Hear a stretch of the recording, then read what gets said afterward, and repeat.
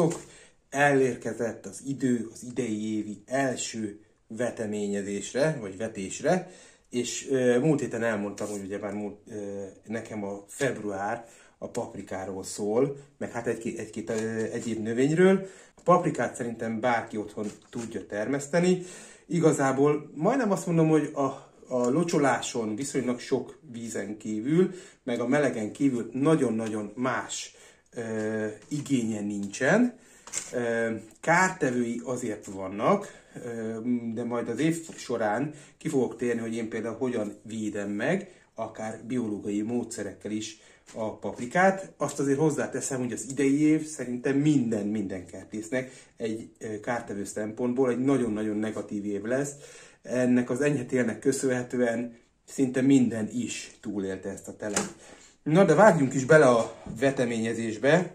Első lépésként, amit javaslok, hogy mindenki szerezzen be, vagy, valami, vagy legalábbis csináljon magának, ha a lakásba veteményezel, mindenképpen ajánlok egy, egy ilyen műanyag itató tálcát. Nem szeretem a műanyagot használni, ö, de ez egy nagyon hosszú távú befektetés, szerintem ö, én tíz év után dobtam ki az utó, ö, legutóbb tavalyi év folyamán az itató tálcát, és ezt ajánlott ö, ebbe úgymond koszolni a dolgokat, emiatt mondom azt, hogy ezt akár lakásba is paprikát, eh, mivel sekélyen eh, gyökerezik, ezért akár cserébe is nyugodtan lehet termeszteni. Szóval mindenki vásároljon ilyen, vagy hát szerezzen egy ez az itató tálcához hasonlatos kis e, valami kis szerkezetet, amiben bele tudjuk tenni ezeket a műanyag, vagy éppen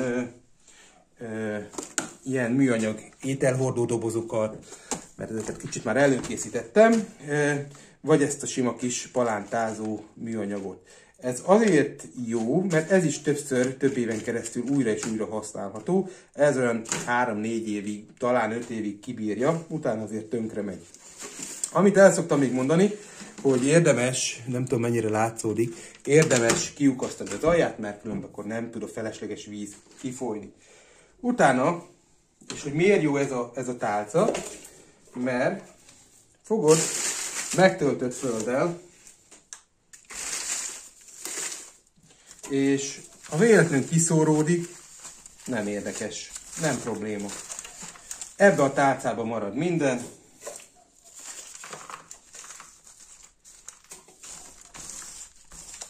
Felesleget le tudod innen kotorni, nem kell annyira bíbelődni magával tálcából kijövő vízzel. Ha ebből van egy második is, és ez lyukas, akkor megteheted azt, hogy ezt így megcsinálod, ebbe a kis feketébe hagyod, nem teszed át a, a, a zöld tálcába, és ö, a másikba vizet raksz, és szépen alulról fölnedvesíted a földet. Talán ez az egyik legpraktikusabb mód, az első locsolásra, mert szó szerint a víz lehúzza majd az egész, lehúzza a földet, és sokkal-sokkal praktikusabb az az első locsolásnál. Na de, akkor megcsináltam különben már, ugyebár van ö, ilyen tálcám, meg van ez a palánta nevelőm, és akkor most jön az, hogy milyen magukat hogyan vetek el. Első lépésbe én a, a tavalyi cayenne csiliket ugyebár én fölfűztem és megszárítottam, és hát ezekből szeretnék én magfogással magot fogni. Ezt évről évre elvetem, talán egyszer vásároltam cayenne chili magokat, ö, talán 5 éve, ö, de lehet, hogy csak négy, nem, nem emlékszek pontosan, és szépen ezeket a magokat kiborítom ide erre a kis tálcára. Meg is lehet vásárolni, szerintem a cayenne chilit nem egy, nem egy nagyon-nagyon drága vetőmag, de ha van otthon már egyszer, egy évben már egyszer bejött neked, akkor, akkor érdemes különben a, a paprikánál, ami nem f mag, azt érdemes megfogni.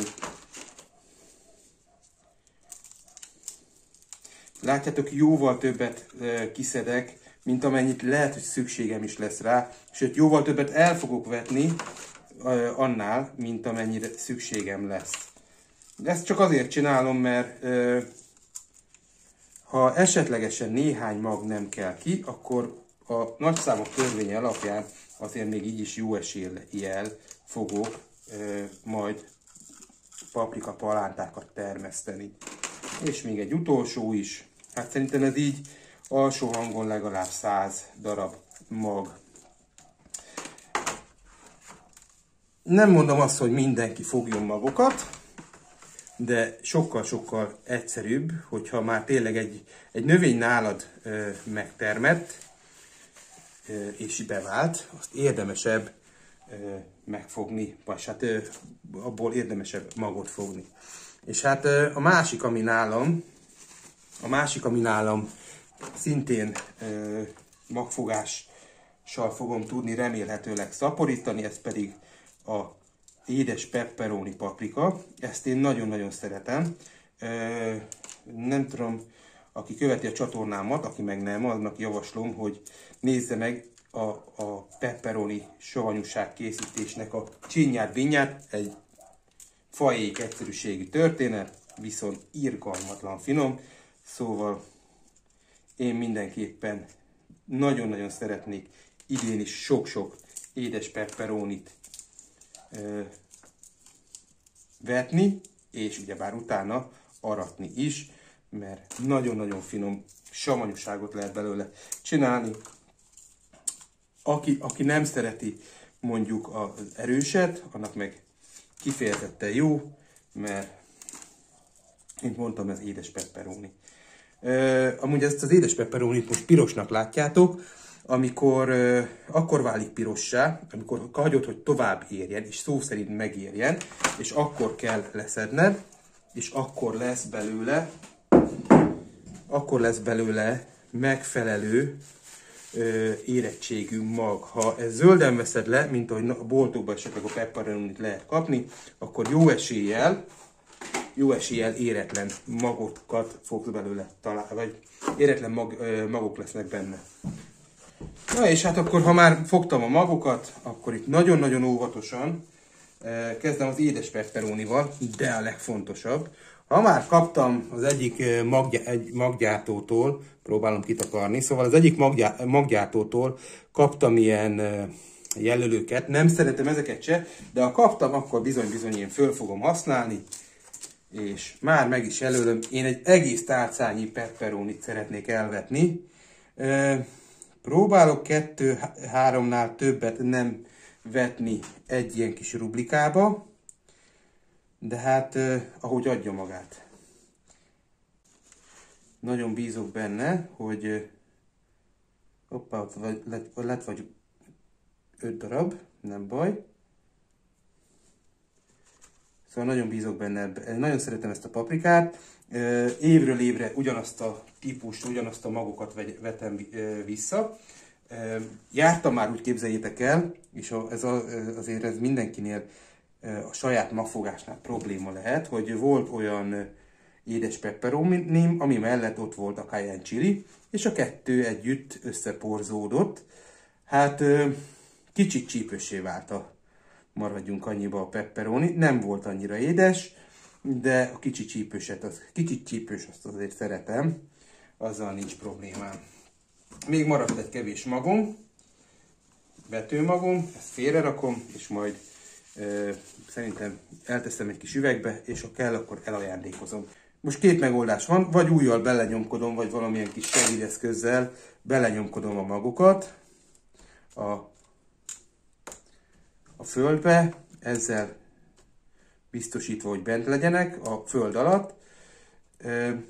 Vagy, vagy ez a megoldás, vagy simán az egészet letakarom egy centiméter vastag földdel, de én ezt a lenyomkodósat jobban szeretem, mert így már biztos, hogy lesz, és utána, biztos, hogy biztos, én még le is takarom egy nagyon rét, vékony réteg földdel. Amennyiben rátenném ezt az áttetsző tetőt, akkor nagy valószínűséggel nem is földet tennék rá, hanem homokot. Viszont én most nem teszem rá ezt az áttetsző tetőt. Tudom, hogy ezzel a tetővel sokkal-sokkal hamarabb fog elkezdeni csírázni a mag, és ki is kelni. Mivel most február eleje van, nincs rá szükségem, hogy előbb kikeljenek a magok. Ezért hagyom így üresen, bármint tető nélkül. De természetesen letakarom még földdel. A homokhoz csak azért lett volna rajta, hogy a penész képződést, mert hogyha ezt így párás terül, párással hagynám, akkor bizony-bizony a talaj felszínén megjelenhetne, megjelenik, általában személyes tapasztalatom szerint megjelenik a penész. Ezt elkerülendően homokot szórok rá. De mivel most nincs, nem lesz rajta ö, tető, ezért csak simán földet szórok a tetejére. Ja igen, a földre nem is tértem ki. Ez az a föld, amit én nem is olyan rég bemutattam, csináltam ö, általános virágföldet. Általános virágföldet csináltam, de nem csak virágföldet csináltam, hanem egy nagyon kevés kis palántaföldet csináltam. Szerintem ennek is egy, ilyen fajék egyszerűségi módszere van, csak javasolni tudom. Ennyi, semmi más nem, nem csinálok. Most annyi lesz, hogy még az összes többit el fogom vetni. Természetesen pepperoniból egy egész ilyen tálcát vetettem, de az összes többiből valószínűleg valamikor csak fél tálca lesz, vagy ilyen kis tálca lesz. A végén azért még megmutatom őket, de mindegyiket hasonlóképpen fogom megcsinálni. A nagy dumálás közben el is felejtettem mondani, hogy igazságot a pritamin paprikának mindenkinek javaslom, aki szereti a kaliforniai paprikát, vagy a paprika krémet, akkor a pritamin paprika az egyik legjobb választás. Mert ez, ez ugyanolyan vastag húsú, mint egy kaliforniai paprika, csak sokkal-sokkal rezisztensebb, jobban bírja a magyar klímát. Bevallom őszintén, én gyerekkoromban nem is ismertem a kalifornia paprikát, és amikor először kóstoltam, nem értettem, hogy mi ebbe a nagy újdonság, azon kívül, hogy máshogy néz ki, ugyanaz az íze. Sőt, merem mondani, hogy a pritamin paprikának sokkal-sokkal finomabb, édesebb, kellemesebb, zamatosabb az íze. Szóval igazságot a pritamin paprikának, és igenis ültessetek pritamin paprikát, mert ez nagyon-nagyon finom és természetesen egészséges.